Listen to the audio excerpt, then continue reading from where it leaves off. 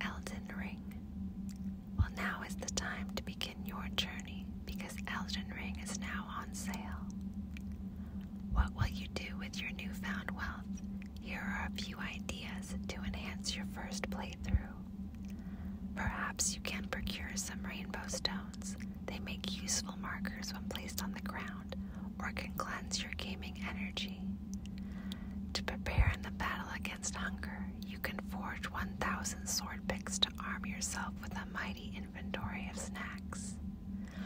Or perhaps you will secure a trusted and small friend, light enough to carry, but strong enough to ward off loneliness or despair. No matter what you choose, know that you have chosen wisely by playing Elden Ring at its lowest price this year.